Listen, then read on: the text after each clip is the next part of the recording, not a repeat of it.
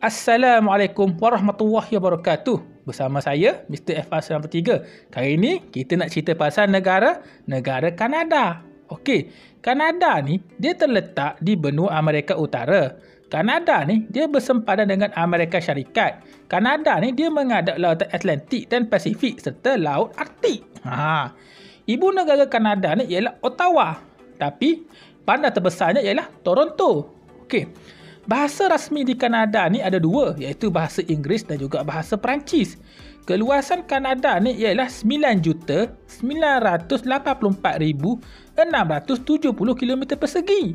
Ha, jumlah rakyat Kanada ni ialah 34.43 juta orang rakyatnya. Mata wang bagi Kanada ni ialah dolar Kanada.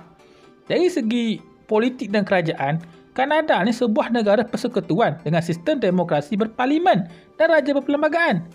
Okey, undang-undang di Kanada ni dia berasaskan perlembagaan Kanada. Perdana Menteri adalah ketua kerajaan, manakala Raja Britain adalah ketua negara bagi Kanada. Malah di Kanada, Raja Britain diwakili oleh Governor General iaitu wakil Raja Britain yang akan menguruskan tugas-tugas di raja di sana. Ha, wakilkanlah buat tugas-tugas raja di sana. Okey. Dari segi pentadbiran, Kanada ada 10 provinsi dan 3 wilayah. Ha, dari segi geografi ni, Kanada ni ada pesisir pantai, tanah rendah, gunung ganang, tanah tinggi dan kawasan ais. Ha, dan Kanada ni dia mengalami pelbagai iklim. Senang cakap, lain tempat, lain kawasan, lain iklimnya. Ha, mengikut atas kedudukan dalam peta tu, lain tempat, lain iklim lah. Okey, dari segi ekonominya, ekonomi Kanada ni dijana oleh kegiatan otomotif, tenaga, perlombongan, sains teknologi, perkhidmatan, pembuatan dan juga pelancongan.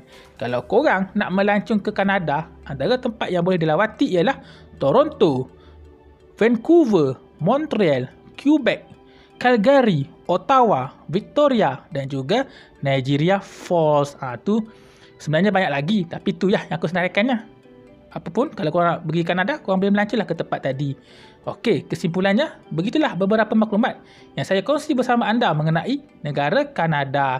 Ha, kalau korang suka konten yang saya buat ni, boleh like, share, komen dan subscribe channel YouTube ni.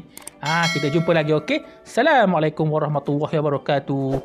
Bye. Semangat, semangat, semangat, semangat. Assalamualaikum.